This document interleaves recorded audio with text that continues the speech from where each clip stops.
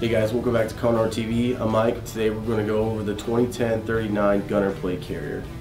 Now the Gunner plate carrier was designed to be a lightweight, smaller version of our original QPC quick release plate carrier. So it has the functionality of the QPC with that quick release system, but it's a more compact plate carrier package.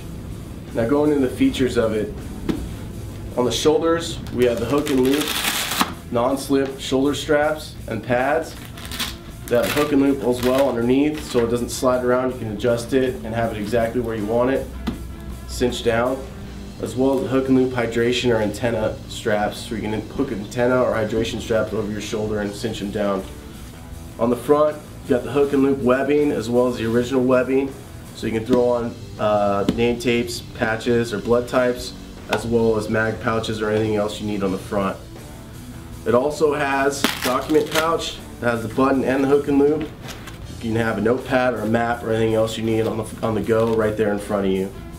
Now the shoulder straps and the cummerbund have webbing real estate and they're all adjustable through the quick release system.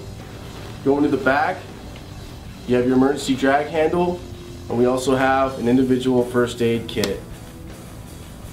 Going into the quick release system, the pull tab can be fitted on either the left or right shoulder. And to release it, you just pull it off the hook and loop tab, pull it out, and the plates fall right off. When you're reassembling the gunner, you're going to want to pre-thread the quick release pull tab through the shoulder strap itself so that it'll be a lot easier to reassemble through the back plate pocket. Then you're going to thread both shoulder straps through that back plate pocket, open up the back, pull them down and through.